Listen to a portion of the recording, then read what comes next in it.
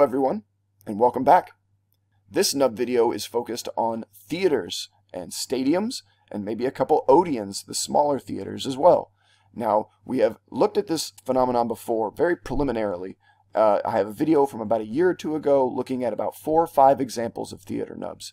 But we have fleshed out that catalog to over 25 examples today. There's obviously more going on than we first thought. Now, these are mostly centered in Greece and Turkey, but there could be more. There's plenty of more theaters out there, and we have lots of photos to look through. But we can definitely say this is a subcategory of nubs, a sub-phenomena related to the greater global phenomena. And I am joined again today by Phil from the Ancient Alternative View, and he's going to help me relate some of these findings to you. Phil, how are you today, and what do you have to tell us about this new potential um, podcast or uh, Q&A style channel we have coming up? Uh, good evening, Andrew. It's a pleasure to speak to you again. And welcome to the audience, and thanks ever so much indeed for having us. And you're right, it's interesting times with regards to yourself and myself. Andrew and I have decided to do a new channel called Ancient History Views. And what that's going to enable everyone to do is have a platform to come and speak to us on super chats on anything that they want to with regards to ancient mysteries and the nubs. And with regards to any of the hallmarks, any of the cataloguing, the free stuff that we give out online, uh, with regards to uh, ancient history criticisms, online catalogues that you can go on to and get for free.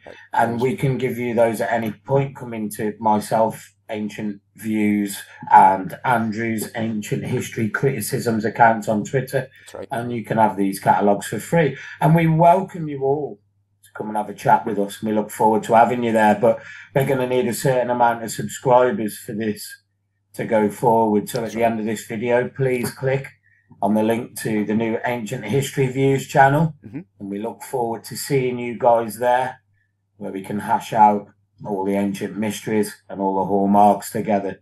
That's right. Thank you very much indeed. That's right. We do need a, a, a community status, so we need over, I think, a thousand subscribers. But once we once we reach that threshold, we will be able to take super chats, and you guys will be able to ask us questions. We'll do a format of about maybe half the video talking about certain topics, uh, talking to other researchers, and then half the video we will take questions from the audience. And if you guys have good questions, we will spend the time investigating them. And if we have the answers and the photos, we can go through them together. So And I think you guys out there will be able to see how Andrew and I actually research together. We're Right. going to show you how we go out there and find the nubs, the bevel blocks, the polygonal stone. What are the hallmarks? Do you even know? If you don't, this is the one-stop channel to come and find out exactly what the hallmarks are and what the answers to the ancient mysteries may be.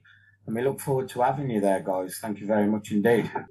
Okay, guys, so today we have at least 25 separate examples of nubs at or around theaters, stadiums, or Odeons around Turkey and Greece. So this is a very localized regional phenomenon. Now, we've seen nubs all over the world. You know, in India, there's the step wells. Some of that might be related to this phenomenon. We might look at some of those examples at the end. But for the most part, this seems to be one of the only regions where this expression of nubs happens. But again, there are many, many theaters out there, and a lot of them have been destroyed and rebuilt, and the restoration process sometimes removes the seats and some of the staircases and replaces the blocks. So we might be missing a lot of the nubs because it doesn't seem like they're always in the same place. So we'll look through some examples here, going alphabetically, I guess is the best way, and we will just look at the different expressions and the different patterns and clusters they make and just the different places that they're put. I mean, why do they put them in some of these places? They're obviously not a good lifting spot. That's that's right out. And then you see they're not a uniform uh, system of levering or moving the blocks either. That's right out. So it's it's a very quirky and random almost expression sometimes that they're just uh, spattered around the the seats and the walls of these theaters and, and temples nearby. So we'll jump right in with A at Azenwa, I believe is how it's pronounced, in Turkey. And Phil will go through some of these photos here, and you can tell me your thoughts as we go along. Now, it's it's a pretty ruinous theater, right? And you have small areas and larger areas. So this is probably the smaller Odeon, and you have the larger theater behind. And you can see there's some evidence of some blocks that are lipped in the background. That's an interesting phenomenon. You'll see more of that as we go along at most of these sites, actually. So we're going to go through a few photos of the perimeter, and then we'll dive into the details. So you'll see again, the seats are really ruined. And it's going to be hard to tell if there are any nubs on any of these seats in this condition. And we've looked from all the photos we can find in Google Earth and Google Maps, there doesn't seem to be any on the seats. But where they do appear, it seems to be on these flanking walls down at the bottom, down at the base. This is where things start to become interesting, isn't it, Andrew? Because you can actually see the lip stone mm-hmm. and the lip above where the nubs actually are. Mm-hmm. And in some instances, in other areas, you could consider that top lip, as we discuss it, as like a bevel, but it's kind of not bevel edged all the way around, is it? This is what we call mm-hmm. lip stone. And if you look at the bottom of it, where the nubs are situated, mm-hmm. it would make that non conducive to where you would try and lift a block because the nub wouldn't protrude out as far as the lip stone above it. That's right. So, yeah, and, and I like the charred effect as well that you get with some of this stone. We get this on different sides, don't we, worldwide? Yeah. And do you notice also, Andrew, the standardised semicircular shape that we see here? That's right. relative to India and Peru. That's right. That's right. And Egypt as well. Mm-hmm. Egypt too, yeah. Mm-hmm. Yeah, and this is just a quirky little spot here. Why did they decide to put them only on these flanking walls? Now this yeah. is this does seem weird in this context, but then if you look at some of these other examples today, we will see that it's actually part of some of their standardized placements. Delphi, for example, we'll look at, also has them on these flanking walls. So it's not necessarily a one-off phenomenon. They do seem to repeat, but not always in the same expressions. There definitely seems to be variation within these nubs, within the clusters, their shapes, their placements.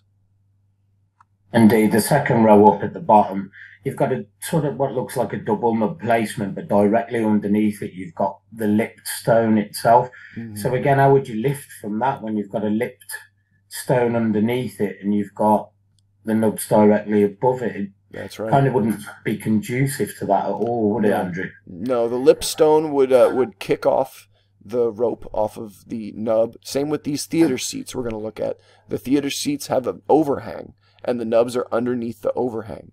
So rope would get. And the block above almost looks like it's got three nubs on it, Andrew. The semicircular to the right, the one in the middle, and it, the one at the left. It might, yeah. Yeah, see, the triple nub block is another. Yeah, is another yeah. very important block. We, we see that above the pyramid of Menkaure in Egypt, yes. and we see that in the streets of Ollantaytambo in Peru, and that's right. Got another example right here. Yeah, we have one at uh, I believe it's the Temple of Apollo in Didyma. Yeah, that's right. Yeah. It's it, it's a very important nub. It, it shows you that you don't need them for lifting because there's three of them. If it was just you know corners that were being lifted, what's the middle one about? And some of these blocks, you could you could also say the nubs that are above, uh, sorry, the blocks that are above mm-hmm. these nub blocks don't have nubs on. So that's true. Why haven't they if they were for lifting? So very true. Again, we, we we've debunked the lifting theory in one image. So yes, yes, yes. There we go. I'm sure we could do that again a lot through this episode. Yes, we have a few more angles here we'll show. Now, these photos are kind of hit and miss on quality because we're going off of tourist photos off of Google Earth and Google Maps. But these screenshots seem to be the best quality and of the best angles that we can find. It takes a lot less time than going through Google image searching and trying to just stumble upon them. It's better to actually go to the sites on Google Maps or Google Earth and look at the photos that they have for these sites.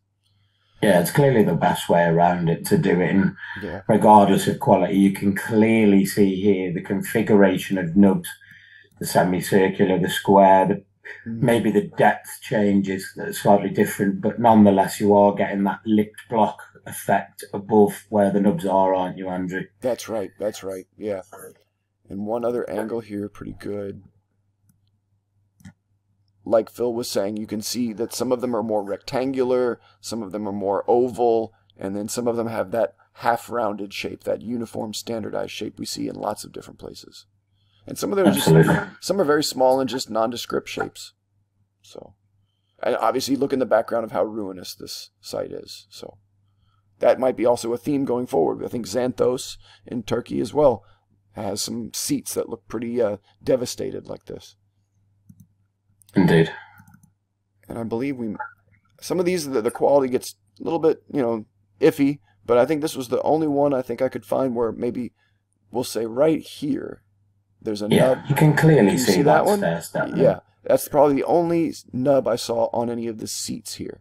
Could be more, but we're dealing with the photos that we have. So it's definitely um, a phenomenon that it, it extends beyond just the theaters themselves. One of the features at this site, this bridge. Now, you're looking on the front, you don't see them, but look underneath in the arched sections, you will see nubs. So it, it's not just a phenomenon that's local to a specific feature or a specific temple. It seems like all the constructions made by this builder group in these regions, they were using this same nub expression, nub method, nub, nub technology. One thing that you have to take into consideration here is there's a lot of mortar used in between the nub blocks, isn't there, Andrew? True, true. Um, and you don't get that, do you, worldwide, really? We tend to look at this as more of a megalithic sort of kind of build, but true. the nub expression obviously extends a lot further than anyone would have thought, really, into this kind of bridge system as well. And Mhm. Yeah, the configuration is sporadic, if you notice. Agreed. It's not on every block. Agreed. And you'll notice that it's not really a, a lifting method. You know, they, they go up into the arch. They're just Yeah, agreed. yeah, just- it's almost like a surface treatment. It's change, more of a of surface, yeah, more of a surface embellishment or surface treatment that we're meant to look at them like this, like they're meant to be there like this. Absolutely. And next, we're going to go to Alabanda Theater, and some of these we don't have that many photos for, and obviously we're going through a lot today, guys, so we're probably not going to click on every single photo, but you're more than welcome to look in the folder for yourself and add more if you find more. But we're going to try to show you just the best of the best today. Now, for general context, the exterior of the theater is this interesting split block and ashlar and different rows, uh, you know, slim rows and thick rows of stones. That's that's an interesting uh, design, I guess you want to call this. We have a few we have a few other structures like this that, that use this design, this swelling surface of the blocks and the split ashlars. We can maybe show that in some other videos, but today we're going to focus on the interior of the theater because that's this, that's where they seem to be. Shapes, standardized, square, Mhm. rectangular. And it seems that they're on the steps. Now, why would you leave a nub on a step that potentially you could trip up over? True. Yeah, underneath a seat maybe, but on a staircase, it would seem futile to leave a nub that could potentially trip someone over. Excellent example. Thank you to Ziggy Dan for this one. Mhm. I actually found it one day and uh, he'd already found it. So cheers, Ziggy. Thank That's right. Yes. And we also have other step examples of nubs at the Didyma Temple uh, of Apollo and a lot of the step wells in India and other temple foundation steps. So this is not just a phenomenon that's just uh, in Greece and Turkey, but it does seem at theaters there is this concentration of nubs around seats and stairs. Inside this arch, we have one lone nub. And there's a few other Why arches. one, why one lone nub? Right. If you if you required that for any of the above reasons, Andrew, it certainly wouldn't be on the bottom, would it? No. It would be above, and it's almost like an expression, isn't it? We were here, kind of thing. Right. Yes. We have other close-ups of it here. You can see it's almost like been pressed together. It's almost like a vertical rectangle, right? It's been like so. looks like an imprint. It Right. looks like a, an imprint within to the block that kind of left it almost a bit different than a surface treatment, Right. right. a bit rougher than Right. we'd usually see on a nub block. Right. Right. You can see all the scooping on the left-hand side of it. Right. Yeah. Really weird. And then another angle of the seats we have. Decent quality here. You can see a few of them in the middle. They actually go most of the way down, but the most prominent ones here on these few steps you can see. You can see a lot of weathering, can't you, on the actual steps around, maybe chipping off and things like that. But yeah, Yes. the nub blocks, the nub steps still remain, don't they? Yeah, and it's funny that they're not under the seats. They they seem to No, follow. it's not on this example. No, in other examples they will though. Yes. And then one final cool little angle here that someone took. you can see in the background a big rectangular nub at the bottom that's got the corner broken off, but then it kind of changes shapes. It goes square, more rectangular, more shallow, and then it kind of fades away as it goes up. It be- begs the point and what the process was to be able to do that into that kind of stone, into a stair step construction. Mm-hmm, mm-hmm. You don't need them there. They weren't left to chip off later because they're not on every stone. Right. So they were left on purpose. They were specific as, as a byproduct. Mm. So it remains the most intriguing hallmark discussion in the world to me. I agree. These these are so weird in their placements. It's like they don't have rhyme or reason sometimes. So we're going to go to Arykanda next. This is one of our favorite sites. Fantastic site, yeah. Just because of first we got to mention the box that's there, right? The box has the uniform standardized shaped nub, the the half round nub, and it's got really And interesting. the interesting thing- part of that standardized shape nub is it has a pitted middle Right. with a bevel line Yes. Okay. Look at that. directly goes underneath to the lower part of the box to the higher part of the box. Isn't that wild? And so so same on the nubs. The nubs themselves have that same little beveling on the bottom, that little rough versus smooth transition. Very wild. Indeed, yeah. And and then down at the bottom, of course, you say, well, those are for lifting. Well, look down here. If you go down to the bottom left, you have at least three, maybe four over here on the right. These are not for lifting. Look how random they are. This one is very small. And they've also got the lip over the top of And- the block that would stop that, wouldn't it? Andy, you know? Absolutely. It would kick off the rope because it's a leverage point. You know, you would be reaching under to try to get to this purchase point of the nub, and the, the overhang of the lip would prevent that. Well, the lip itself would, if you were going to lift, would be what you'd lift from. Certainly wouldn't be the nub that's shallower underneath. That's impossible. Makes more And I'm an engineer with uh, the Royal Navy. Sure. That's impossible. The lip would be a more substantial purchase point. Agreed. Indeed. So this theater is very interesting nearby. At first, you don't see them. Now, you might be confused. You might look at these banister pieces. These are called finials going up, and this is a decorative motif, kind of like the clawfoot on a tub, or these are more like the top of a banister. This is a finial, and this is these are not nubs because they are all the same shape, all the same design. But if you look close, look very close, you'll see nubs speckled throughout the seats. And these are obviously not uniform, different shapes. It's not standardized. So you'll have And you can definitely see that they're underneath a lipped seat. again, right? Yes. So Well, it, it, it's it's it's a point where the lip actually comes over further than where the nub does.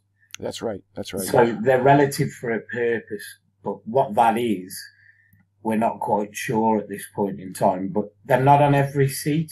no, They're not all over the the theatre. no. Some of the Different larger, shapes. yeah, some of the larger blocks don't have them, but these smaller blocks do. Why? Not centered on the block either.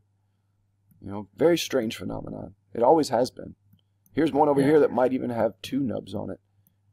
You get really close. Maybe three even. Maybe another triple nub expression. It gets hard to tell Yeah. sometimes, right? But we we're confident that this is a nub site. We have I believe a couple more angles, but those are pretty much the best ones. Uh, if you want to see some more proof that it is a nub site, we have other features like outside where we just were with the box. This foundation, look down at the right, more nubs. And certainly the foundation blocks prove that the Yes. blocks above are bigger. Mhm. If you wanted to put them above, wouldn't you have a lifting boss above, not below? Right. You're not hanging anything at the bottom for people to see. Not at the very not bottom. Unless they're borrowed. No, no, this is the very bottom level, guys. This is the surface level. So yeah, the over, Standardized circular like we see in Egypt. right here again. Yes, and then India. yeah, they're kind of uh, off center. Sometimes they don't always line up perfectly even. Again, some of that quirky uh, non-uniformity of them. And then if you want to see a few more examples, I believe I had one more on the side of the temple proper. Yeah, over here on the left-hand side. Now, first of all, it's lipped block on the right, but then it turns into more of a beveled block on the left. And if you zoom in, you'll see right above where me and Phil are, on a box, more nubs right here. And again, like Phil was saying, that scorching or that that that color change. But do you notice how very ornate the bevel blocks are above, very shallow hmm with the pitted middle, almost like the surface treatment changed from bevel block to nub. That's right. And then across to the right, you've got the bevel blocks that are shallow and then into a lipped stone. And also, you see, Phil, there's a filler stone peeking through in the doorway. So a lot of different things going on here. The polygonal nature stuff in the background, the formal ashlars in the foreground, bevel blocks, the lipped blocks, and then nubbed blocks as well. So indeed, yeah, you can notice at the back the more cyclopean style stonework, can't you? That we're going to look at shortly, more around to the back end of that, right. that relates to more like Katieron in Turkey. That's right. That's right. I have, I think, one more photo here from the outside where you, you can see, yeah, these sharp angled polygonal with these filler stones that are sometimes triangular, maybe trapezoidal. Yeah, very interesting. So that, Absolutely. So that ties it in again to the global phenomenon that we see from Easter Island to Peru. Ethiopia, That's India. Right. That's right. Filler stones are everywhere. That's right. So next we'll move on to Athens, and we have a lot to talk about at Athens, but we'll try to keep it to the theaters themselves, although the theaters proper, the seats and stairs, are not where we're finding the nubs. As a matter of fact, we're finding them on these walls around the theater steps. So first, let's talk about the retaining wall. So we'll give you a good context here. This is one of the lower theaters, and you'll see that these are the seats over here to the right, the Acropolis above. But what we're looking at right now is down here on the foundation. You're seeing a very refined bevel block straight away with the nubs, aren't you? That's right. And they're not a very standardized shape as well to the right hand side, the semicircular, which goes ah. into a rectangular shape. Right. So yeah. if you could perform something so ornate in the bevel block, why would you need to have a standardized semicircular nub, a rectangular nub, if you could do such ornate work within your beveling? Agreed. Yeah, all the beveling is uniform and perfect, and it, it the same depth along the rows, but then each nub along the row is a different shape and a different size and orientation. And why aren't the nubs on the blocks higher up? That's true. Why does it stop as it goes up? It's only this foundational phenomenon and it, it goes all along the bottom. We'll show more of that. So here we are again, look, looking at it from the opposite angle, right? You can even see to the left-hand side on what seems to be an older part, and you can see that there's a definite bevel line at the bottom of that as well. Yes, and the bevels are on all these blocks, but they're different. If you notice, you get close, they're different as they go up the rows. So you'll see the beveling at first is the the incisement below and on the on the edges it's recessed and the middles are, are prominent. They stick out exaggerated here like in the front. And then other times you get like that but you get like a puffy bevel right right. middle pitted middle into a smooth nub mm-hmm. into a more pitted middle nub block right. which shows that they almost could change surface treatment at will with yeah. these hallmarks. And you go up the wall you'll see the same thing. You'll see the nubs disappear the bevels refine to the point right above here where we're looking no longer at a bevel, but we're looking at a pitted, recessed middle. This is a completely different expression here. Completely. So it's it's weird that it morphs from the bottom to the top like this. And Almost block to block, like a surface treatment change as they go, isn't it? Right, right. As they go up the wall, it seems like they're changing the surface treatment. It's getting more refined. They're leaving all these rougher features down at the bottom, and they're leaving the nubs exposed. And obviously, look again, this small, tiny one, you're not going to lift by that. It's, it's obviously way too small. And it's been carved to be that small. You see the, the pitting around it. It was that size initially. This one here. And the, the block above it, Andrew, has got nothing, and it's the size of all three of them. Completely smooth, and it's a, I, I see no other marks that would indicate where nubs used to be. And we had about three or four more photos to show you. Now, we could go all over the Acropolis. There's tons of nubs all over the Acropolis proper and the temples up there and the retaining walls. But because of our limited time today, we're going to try to stick to the stadiums and stadium areas. So first, another interesting spot that I found. Again, it's on this back wall.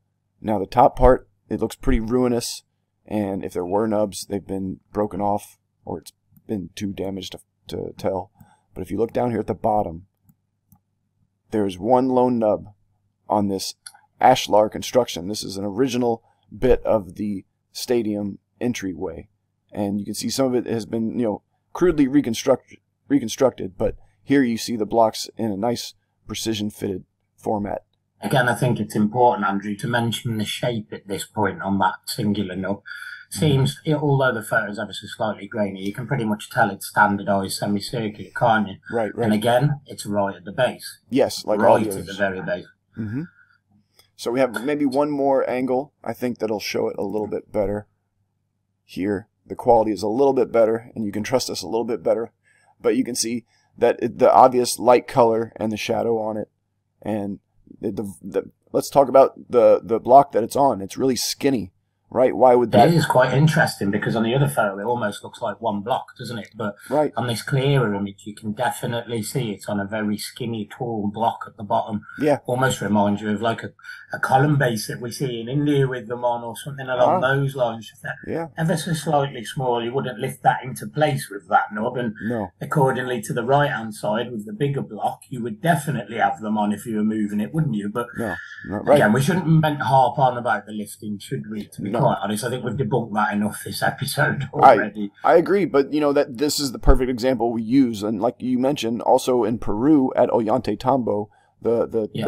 the very slim, s- slender stones with the nubs on them. Those were not used for the lifting. Obviously, those are the obviously esoteric nubs, like we're looking at here.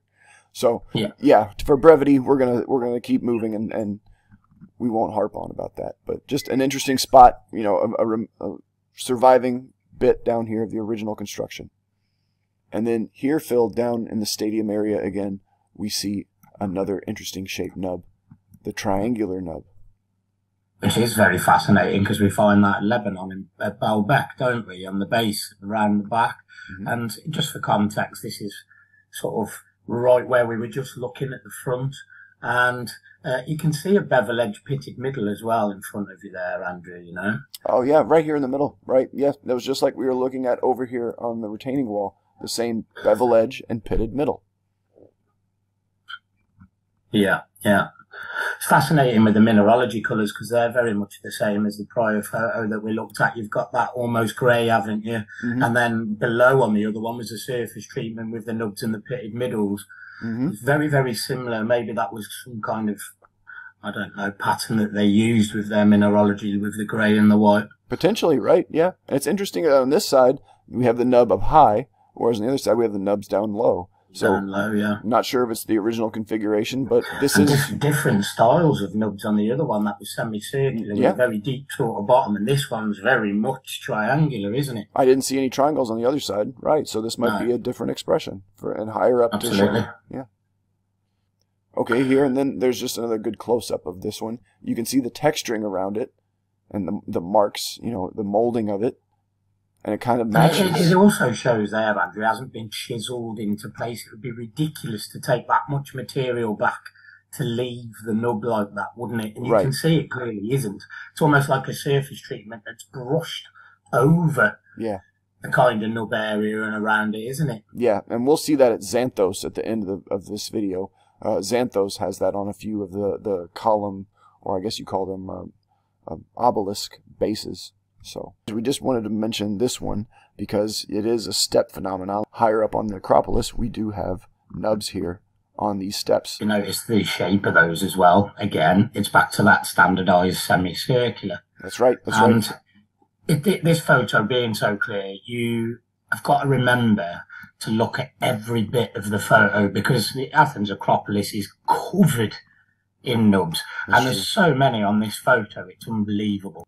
In the mm-hmm. left hand corner, you have a couple up here, and then it go down a little further, and just above our box there, you'll see a string of them going down this plinth here, this element here, and maybe one or two more down here, right? They do go up the side, yeah. And if you notice on the shape of those, they seem more square, don't they? They all do, right, right. Interesting variations. So why why the difference in shape would be a great question for everyone. Why would we get triangular, square, semicircular shaped Hmm. nubs on some blocks, not other blocks? It's just beyond belief. And why would they be on stairs? Wouldn't it be a trip hazard if they protruded any more, like we suggested before, Andrew? Yeah, and some of them are tiny, and again, off center. Just, you know, even if they were decorative, they're not centered. So it's very interesting that they each got their own expression that is unique to the block. Absolutely. I mean, as shallow as they are there, it reminds me of the hieroglyphs at ancient Egypt, where you actually see that shape all over the ancient hieroglyphs, don't you? This one, yeah, this one might as well be the one in the portcullis chamber. So Yeah. yeah, well, very interesting. Okay, we'll move on to Butrint, Albania next, and you guys are free to look at the rest of those in your own time. This is the one outlier, right? This is outside of the Greece and Turkey territory, and we don't have too much to talk about. There aren't that many photos, but again, it's got a lot of extra um, rubble built stuff on top of it, additions. So some of these sites, they might have been small Odeons and then they've been built up bigger into stadiums and other things. So this one, they're not on the steps. This is more of a really, you know, subtle example because you have to look on the sides, again, these flanking walls, but you'll see that there is a, like a, a texture change. There's lipped blocks and then on some of them, they like turn into nubs here, like this. These two here, I'm going to classify these two as nubs. What would you say, Phil? Almost with that puffy nature, it reminds me of the Kurgan and Kerch, Royal Kurgan and Kerch, how they can change textures so freely from bevel edge blocks into flat into nubs, dependent on the surface treatment they want to use. That's right, right. Like here in the corner too is just a, an abrupt change, and this lipped block phenomenon we've seen already at these other theaters. You already start to recognize it here. It's like an abnormal texturing. It doesn't really fit a uniform uh, finish like the rest of the of the of the surfaces are. Look at the rest of them; they're all nice and finished. Why why didn't they finish them here? What what, what could have gone? Indeed, yeah. You know, did they did they have a, a plan to in, put plaques in here or other you know adornments? I don't know, but they definitely look like they scooped it and you know they did the surface processing the same way as our other theaters in Turkey and Greece. Absolutely. And then just you know maybe to, to like uh, nail home the point. Well, first of all, we'll show you the the the big view of it. Now these these are interesting blocks. I do want to note these blocks. They they do have like a mineralogy pattern to them. Now look really close. You'll see like a white mineralogy in the middle of all or most of all these blocks. And if you follow it around, it actually goes through all the middle of these seats. This like white was it quartz or something in the in the middle? It's like a quartz content, yeah, it seems. Yeah, I don't think that's algae or anything. That's something else. And they, these seats do, and some of the stairs, I guess these are stairs too. No, this is a seat. Have these weird pinch holes or corner holes in them. a few other theaters have this. You see, here's another one up here. You can see the light going through it. So there's other hallmarks going on within these theaters. But as far as you know, the topic we're talking about today, it's more of the perimeter and you know the exterior of the theater. But then we also have things like uh, polygonal architecture, right? The, this uh, uh, cyclopean style, like we were talking about earlier. Again, you know, almost almost reminds you a bit like Catieron, doesn't Again, it? How that's been put together. Triangles, like for very cyclopean style. Exactly the same. And then uh, another really interesting wall I like uh, has some L-shaped blocks or like corner cutouts that could be filler stones here, and then other ones here at the joinery. Maybe that's a drain spout or something for for draining. I don't know, but an interesting section of, of megalithic wall that does fit in with this style that we've seen in all these other sites. And then just uh, one final photo, we'll look at the, the doorway here, at, and you can see there's definitely some angles, extra angles going on, some polygonal L-shaped blocks as well. L-shaped blocks, right. So, yes, this is all connected architecture here at this site, not just the stadium, but these other uh, auxiliary structures. And then we'll move on to Delphi. Now, Delphi, we're probably going to spend some time on. Delphi, we have a lot to talk about because this one is probably the best panoramic we have. So they're going to be on the flanking walls, right, Phil? They're going to be on the yeah. seats. They're going to be on the stairs. and here. on the bottom blocks of that lower wall, you see? Yes. So we all can, the way around the front. We can it's zoom. almost in. like that they angle up towards the steps and then sporadically go around the steps. That's and right. if you notice on these specific steps, Andrew, they're very much lipped as well, aren't they? So very any much. of the nubs that are underneath them, that same protrusion line would yep. go over where the nub is positioned. Absolutely. And, I, and, and, you notice if you look at the bottom, they're not on every block. No, no, clearly no, not. It, I, I, I surmised with uh, Dave Hannaran, Ukrainian Utopia on Twitter, massive shout out, uh, about these being some sort of astro aligned clocking system for specific star date or something along them lines, just as a theory. And it would be ideal for us now we've got a selection of 25 to maybe put lines all the way through where the actual nubs go on these amphitheaters and see if we can find any correlations at all. Something like that, because it feels like I want to be standing down here and looking at these nubs from this central vantage point. It seems like that's Absolutely, yeah. that's why they're put where they are to to figure out some kind of code or you know some kind of builder's technical language. You can see them on the middle steps as well, going up the Uh-huh. row of stairs themselves, let alone the fronts here. Yes, and there's a triangle in the middle of it. And again, this kind of like harkens back to these other theaters we've looked at, where it's up these central staircases of the, the Yeah. of, of the. And again, wouldn't they be a trip hazard? Yeah, they for would be Anybody that were going up sure over here as well. Yeah, especially like this one sticks out very far. That one would. And then some of these others, maybe they did stick out further, and maybe that happened in the past, and they decided to chisel some of them off. Some of them do look a bit broken, and then it seems to stop, right? It, as it goes up, it stops in both cases. Maybe there's one Yeah. more. Ah, again, off center on that block there. But yeah, it, it's it's more of a, a, a lower foundational phenomenon. Again, here's some interesting ones. Look at that, the half round uniform standardized shape. Perfect example. Perfect. That could almost literally be on the portcullis chamber. Agreed. And look below it. Those Flat, are couldn't it? those are more uh, like India down here. These more organic And the bottom right, you've got a perfect triangular nub, which we were looking at on the last set of images. Yeah, yeah, Athens. Athens. Correct. Yeah, this is uh, this is like the most prominent like 3D of the of the triangle nubs I've ever seen. Right. This is this is pretty impressive. Uh, so Indeed, yeah, it does protrude a long way. You can see the shadow underneath, how far that actually comes out. right. If anyone does go to this site, could you get us photographs from the side so Yeah. we can actually see exactly how they protrude? This would be fantastic. I never see anybody get this close, closer than this, but it looks like you're allowed to at least get up to this part. So come on, guys. Yeah, But some of these photos with these high quality cameras are really good lately because you can see again another standardized shape, another triangular, triangular shape, next to it. another yeah. triangular here, right? All these different shapes. Delphi seems to be very important because it has all this variation and a lot of clusters. It does. It does. Yeah, here again some more Very, very important. Yeah. Yeah, these two I would say also are pretty prominent. So, Triangular in shape too. yep, and then they keep going. And again, they're not going to be in the upper registers. They're only going to be down here in the bottom. That's a really interesting one. Look how far that one sticks out. That could all Yeah. you could almost say technically there it could be used as a lifting boss, but not quite. It's still you know it's probably about sticks out about the same as the lip. So might as well just use the lip, guys. Come on. But Yeah. and then of course it, it will continue over on the right side, but we don't have that many good quality photos of that side.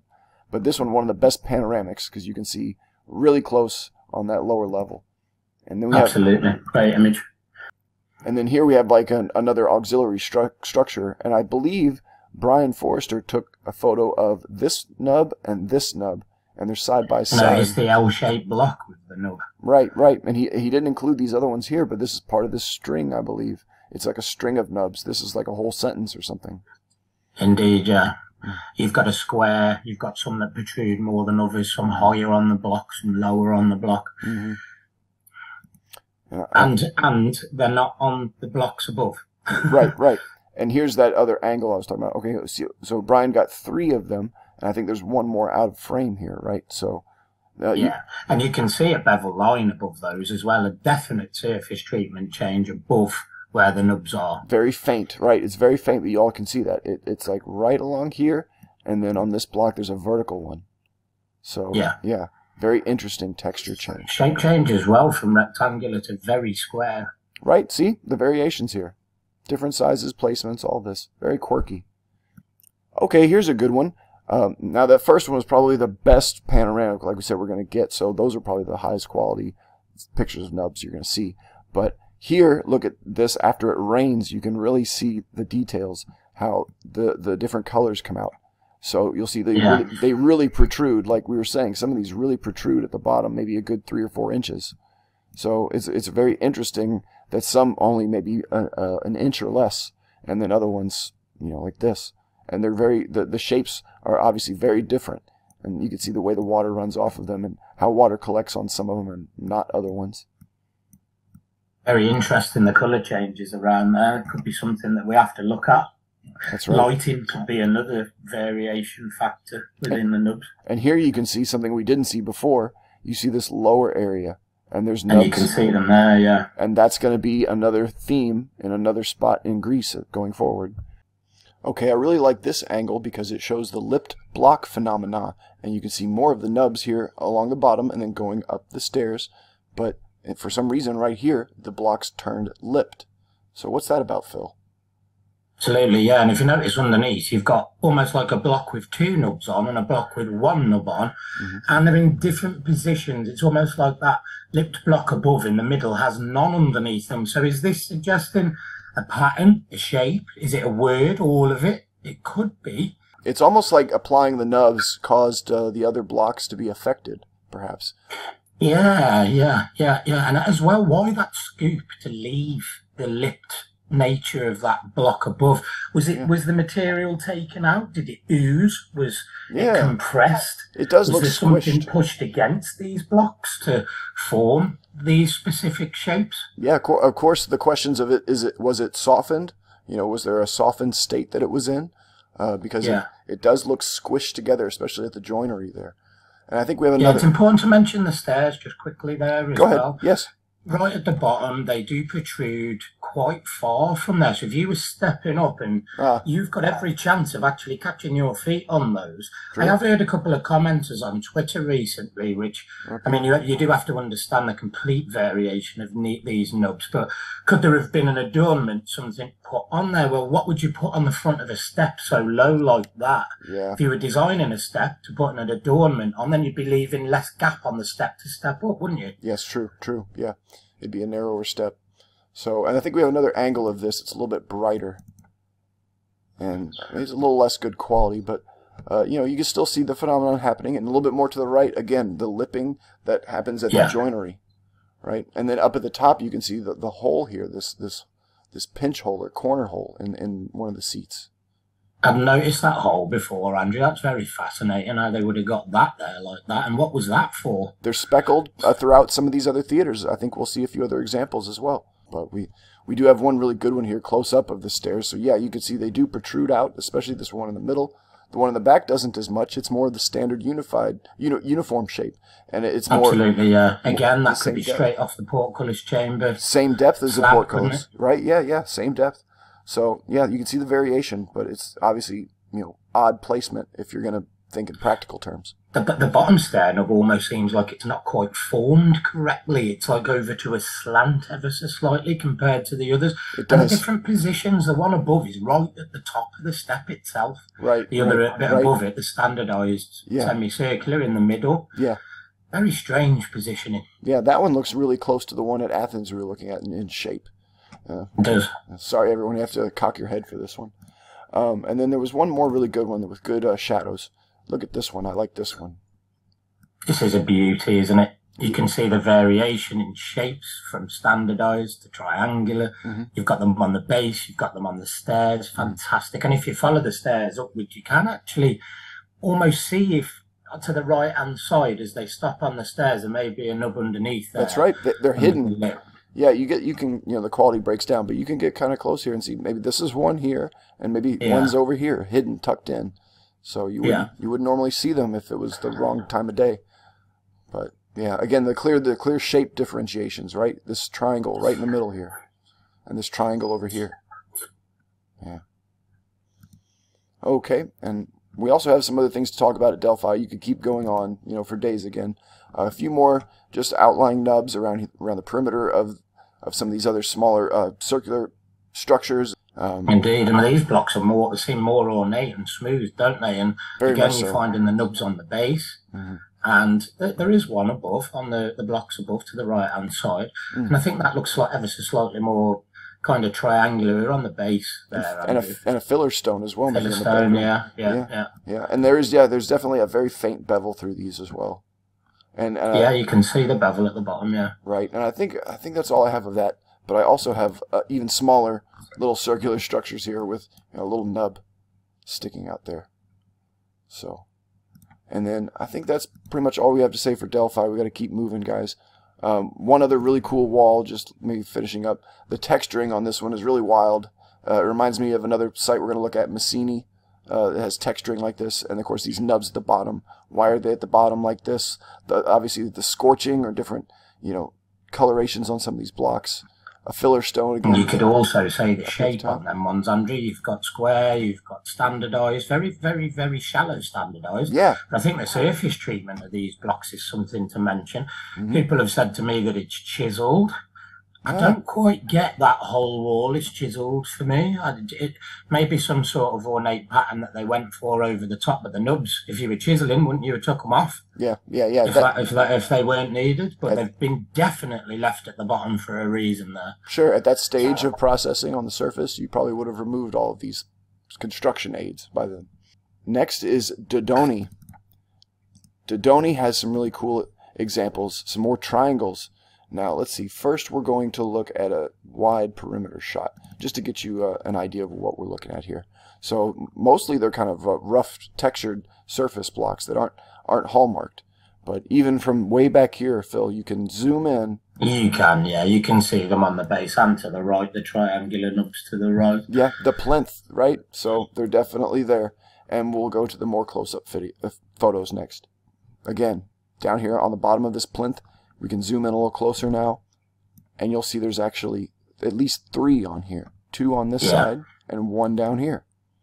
And you can clearly see the bevel line around at the bottom. That's right. Absolutely fantastic work. Mm-hmm. Mm-hmm. Yeah, and there's more of this as well. This isn't an outlier. We have Yeah, this is all on the out, outskirts of the structure. we, we have uh, some more like go like if where we were at before was the the far right in the background come over here to the left and look at the base of whatever this structure was. We have this little you know cluster of nubs around this circular element again. And if you look really close another small one here. So it's wild. A lot of triangles that go around and then the uniform standardized shape and then maybe a little square or round one over here. Yeah. man very cool. And then let's see i think i have there's a, there's a couple more angles and lighting of that we'll let, That's a beauty, isn't it? And you can see a square one in the middle, can't you? oh that's right. We didn't quite see before. that's right over here another one so there you go and no, none on any of the others and ah. and here's a really good close-up of one of these plinths i mean come on you can see the texturing and like phil said these were meant to be left on And again, you've got that bevel line around the outside and above, and almost one that splits it down the middle, haven't you? right right i wonder about that it is split but it's like there's a bevel line there too as well was that where the block was supposed to be split are we seeing a block that was about to be split or in It the was about to be split. That's an excellent analogy, Andrew. that's interesting that's very interesting It, it could well be that, couldn't it? And they were going to separate places. or it was a damaged block like this was one that they processed Yeah. And uh, this is a, a fault in it the, the natural fissure that they uh, exploited by accident with their with their technology or however they did this. But then maybe down here at the bottom there's this other little tiny nub right down there by the grass. And again, it's important to remember that these are triangular, and I'm not sure what you'd call the one on the left. It's almost like a circular, I guess. But it's it's they've gone for triangular on the both, and the one's come out better than the other. you know? maybe right and one's bigger than the other right the one on the right that's more refined is smaller right i see that so there's a few other uh, elements here one of them i really like that ziggy dan and i were looking at under this tree i love you can only see it because of the shadow the quality isn't very good but under this tree along this low wall Oh, they're definitely there. You can see the triangular nature, standardised, maybe. yeah even maybe the the right shapes. of it, if you look, that's right. They're certainly there. certainly there. Right so they're definitely in these outlying structures. So again not just isolated to the theaters themselves. I think that was the only good photo of them i had. Right this is just showing uh, there's a couple more. Aha look look at these. Very very very very faint. You can almost miss them. And again the quality breaks down but a small standardized shape and then more of a triangular one right here Yeah. very interesting. Okay, and next we're going to go over to Ephesus, and we could spend all day talking about all the different interesting hallmarks and features at Ephesus. But again, for brevity here, we're going to talk about just the theater. And first, we'll point out, aha, there's interesting things around the outside. You've got the damage holes straight away, haven't you, Andrew? What we call the damage holes, and they're Yes. all around lipstone Yes. everywhere on here. Right? Yes, yes, same phenomenon again. Some of them don't have lips, but other ones they obviously do. It doesn't seem um, uniform. It seems more like a, a, a byproduct or an after effect of the processing of the stone. It's like a It does. it does look kind of uh, uh you know unesthetic. It's it's it's not a refined treatment. They should have uh, knocked this off and the nubs to make it a nice smooth wall, but they never did. They left it all I think with the nub, nub lip block to the left, I think it almost looks like a pitted middle, very fine bevel line towards the bottom of it. You might be right. it might there. not be a bevel line, but it's definitely a pitted middle underneath the lipped block. Mhm. Now, is that a rectangular and a standardized semicircular? I mean, misformed maybe? Mhm, It's mhm. def- they're definitely not on the block to the right of it. No, and then the ones over here about the same size, and you see the, the the distance between the two, right? So these two are very close together. These two are far apart on these blocks, these different size blocks. Yet they're about the same size nubs. Very interesting. Again, yeah, maybe broken off on that one, but they would have probably been about this size. Absolutely. Very interesting damage holes, right? Agreed. Lots of them. I think we'll ask everyone at this point, what do you think the damage holes were? Yeah, they, they, Because they're why not. aren't they on every single block? What were they trying to get out? What was going on with these holes? How were they blown out? I agree. Right. They, they don't look like they were uh, scavenged because it would have been more of a standardized uh, destruction. They would have just gone Yeah. for every single joinery. Right. This is more. Uh, this is more like a phenomenon akin to the nubs and the pinch holes and some of these other things. Just quirky. Oh, absolutely. maybe maybe That's it's for another day, isn't it? We could do a blown out holes Sure. episode. sure. Maybe it's not damage. Maybe that's we're using the wrong nomenclature. But yeah, Yeah. we'll move Yeah. on. We'll we'll keep going. There's lots of other cool aspects here. Again, like a plinth. You see down here at the bottom. They need to cut the grass, but you can see there is a nub. Clearly see there's a nub. Yeah. Yeah, how cool is that? Just one, and we'll see others like this at other sites. And then, how about this one? Yeah, again, so you see first of the damage holes, of course, and then the lipped blocks, and then speckled in between, very faintly, you'll see one or two little nubs that have survived. And I don't know, it's kind of they're in a they're uh, in proximity to the damage holes, so maybe again, Yeah. is there a surface treatment going on that's going haywire here when they're making the nubs and accidentally does this? You can obviously see all this discoloration, this this scarring or scorching. So, and we have a couple more angles of that. Here's one good lighting, so you can see You can clearly see the nubs from here on those. from here, right? Yeah. hmm those same ones. And then one final photo here, the right hand side. You see, if can- Probably the clearest example you can see the nubs on around the lipstone, isn't it, Andrew? yeah, that's about as close as I can get. But you guys can clearly see there's a few nubs here. One of them looks like it has a hole in it, which is something Yeah. you see at the Coricancha in Peru. Some of these nubs have holes in them or blown out, like they've uh, exploded or The popped. one at Baalbek, the triangular one on the base, that's got a circular hole directly through the middle of it. There you go, right? And then, yeah, these continue on down, and there's more speckled nubs in throughout this. Do you notice the rebar that's going up to the left hand side? I Oh, mean, yeah. th- there's holes that it's got to go through the stone on them. Not sure whether later additions to some of these stones may have affected some of the more ancient work. You never know. It gets hard to tell. Well, the, the quality breaks down, but it does look like these are like some kind of telescoping poles to support this. Uh, It might have it might have had more in the past, and this is the interior part that's falling. You know, the exterior fell away, and this is what's exposed. Yeah. Right, right. I wonder where those other blocks were. I'd love to see those. They probably had nubs on them. So would I. Did they have nubs on? Right, and you see more of this damage hole phenomenon going around the corner, pinching maybe. Interesting stuff. None on the inside of this theater, surprisingly. Okay, and next we're going to go to Gitana. And Gitana is a small little theater, but they're excavating it and they're finding more bits of it. It looks like they're also restoring it at the same time. So some of these steps and seats might not be the originals, but we do still have some remnants. We'll show you Yeah. show you a quick overview here. It's pretty impressive actually when you see the overview. You know, it's pretty It extensive. is. It is. When it's fully excavated, it's going to be some sight, isn't it? Really. Yeah, yeah, and you see the the the devastated seats over here. Again, like we're going to see that later on as well in other sites. Okay, and then we'll go to some close-ups. Well, first we'll we'll do some nice picturesque photos. This is before they excavated, right? This is all that was exposed. So you can see they had more to find and if if if these patterns are like the other patterns of the other theaters, there could be nubs up in these upper rows. You can see one bottom left of that if you've got a trained eye. Oh, you, that's the, that is the one. We're actually going to talk about that one. you, you have the best trained eye, Phil, because I think this is one of the lonelier nubs at our sites. It is, uh, yeah. I think there's maybe one or two. Yeah, I think we'll pick this one here. So here you go. I think that's the one you spotted right down here at the bottom. Yeah, yeah. No, it's the shape as well, Andrew, the triangular shape that we keep coming across. All these sites at the moment around Greece and Turkey seem to show a heavy concentration of this triangular nub, don't they? They do. They do. It's like it's almost a, a, a regional branding. Or, Absolutely, yeah. Yeah. Yeah. Yeah. So, um, and then there's one more, I believe, up a little higher.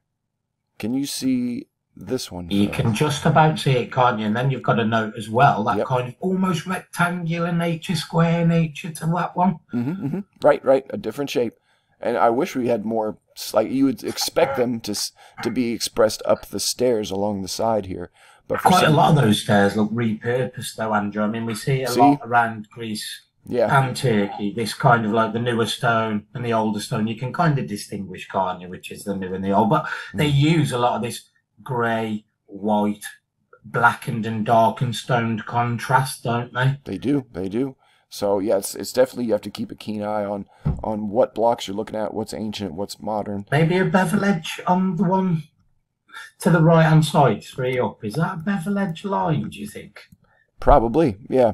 I see it there. It goes pretty straight, and I think there might be a couple other nice photos that we can see that. I think this one might have been the only other nice one. Ah, here's a couple more nubs. Yeah.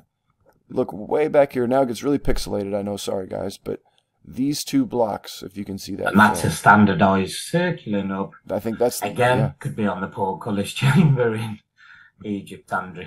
I bet there was probably a lot, you know, down here in the bottom, and then maybe they've restored them and taken those away. I wonder where they put Yeah. them. You know, sometimes these end up in museums or something, or maybe in a in a in a field. I certainly think we can't take this as an original configuration. No. Unfortunately, until the whole excavation's done, and maybe later than that, we're never going to see this site completely original. But the, Right. there's definitely nubs there as we're excavating it right now. So Absolutely.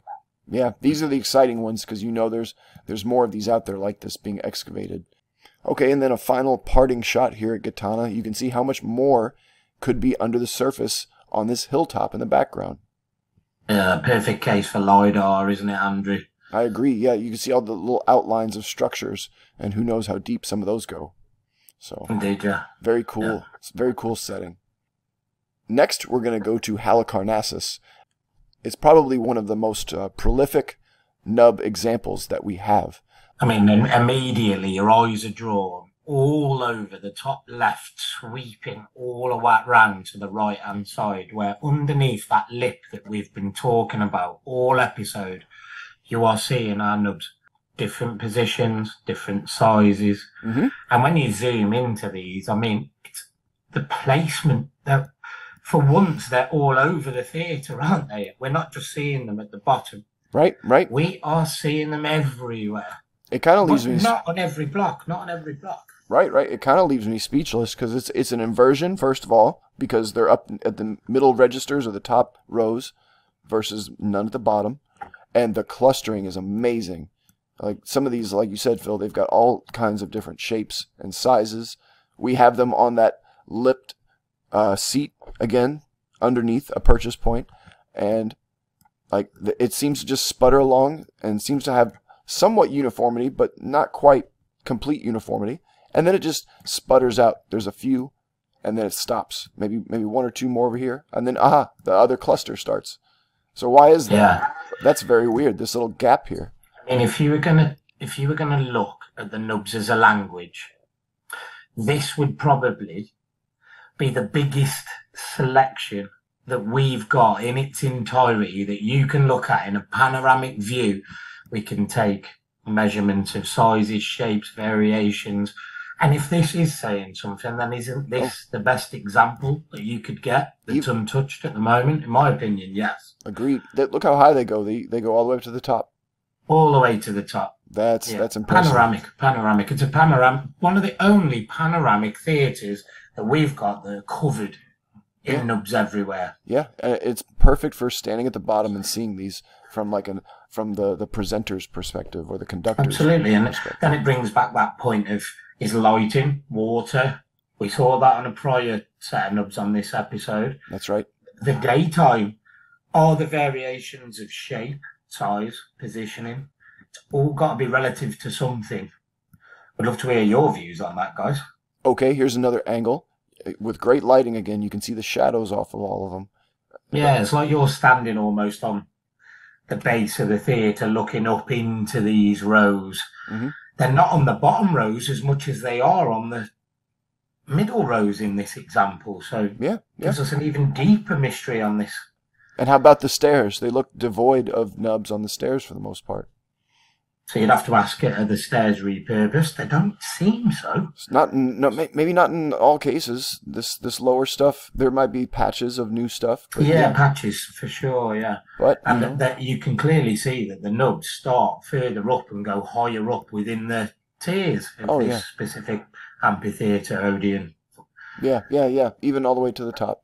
So this is just an amazing example. Maybe there is one or two. We'll say, guess. I'm, I know it's getting fuzzy. We're guessing down here, but there could be some at the foundation. Maybe level. some shallow examples, and we really need close-up, Yeah, yeah. brilliant pictures of these. So if you're away, can you snap us a shot, send them over to the Ancient History Criticisms, Ancient Alternative View channels on Twitter? We'd appreciate that. Thank you. Please, yes. And look, we have one close up of this upper area underneath these seats right there. Just one, one lonely nub, and behind it, maybe two. At the bottom here, where you've almost got the same as in Greece, haven't you? This bevel edge pitted middle effect in the the blocks at the top and the bottom with the nubs involved. We see that a lot, don't we, with the nubs, Andrew? That's right. That's right. It almost looks like a like a sponge if you cut it straight. Yeah, very interesting. And then maybe yeah, this is some modern concrete down here propping these steps up. You can tell the difference here, right, guys? Absolutely. And I think we're going to finish up today at Hierapolis because we're running a little short on time, guys. We're already over the hour mark and we don't want to stretch this out too long. We're going to have to make it part two. Um, but we wanted to end it on a, on a banger, so we definitely definitely want to get this one in here at the end. So we'll start out with one of the best photos that I've ever seen of theater Ah, nubs. me too. So Straight away, they jump out at you, don't they, Andrew? The variation, the styling, two on a block, one on a block. Absolute banger of a photo. Really, really clear. Still quite a lot to be excavated on this site, if I'm honest. So Right. we may still have more nubs to find. But do you mm-hmm. remember that charring that we saw earlier on? that's right. That's right. Again, we see the Seeing darker nubs. here as well, aren't you? Yeah, yeah, and it's isolated to this corner. It all these nubs are clustered onto this corner and a little bit into the archway, but otherwise, we haven't really found them anywhere else. Absolutely. And you know as well on this these examples, the, the nubs actually in some instances are different colours than the other ones. That's right. That's right. Some of them are like a sandy color. Other ones obviously look like burnt almost. We see this in Peru sometimes. Yeah. Yeah, very very good photo. I love this one. And we have another angle too. Straight on the base. There We you go. won't, we won't say lifting nubs at that point, Andrew. Here we get a better look at these on the corner and see the colors Yeah. again. Yeah, very interesting. They're darker. They kind of sag a little bit. Some of them do, and then they're smaller, obviously, in, different profiles. Each one. You've kind of got the L-shaped blocks as well, haven't you? In that, Ah, yeah. And- yeah, yeah. Another hallmark. Again, yeah. These these hallmarks overlap at these sites. Okay. This is an absolute beauty, isn't it, Andrew? Yeah, yeah. You We'll can actually see the different shapes, variation, placement with on the block. yeah, yeah. Agreed. And we'll probably close up on this one. This is probably one of the best ones we have that's got the detail, and we can zoom in a little bit farther. But yeah, the different colors down here at the bottom. It's a little darker, the sandier color, the reddish tint on some of them. That's interesting. And yeah, all, all the different placements.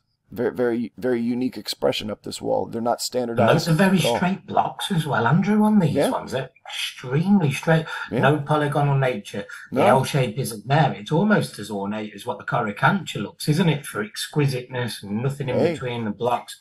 You know, you could fit a slice of paper nowhere near between those, you know? I agree. Yeah, some of these other places like Athens too had that, where the blocks get very, very refined.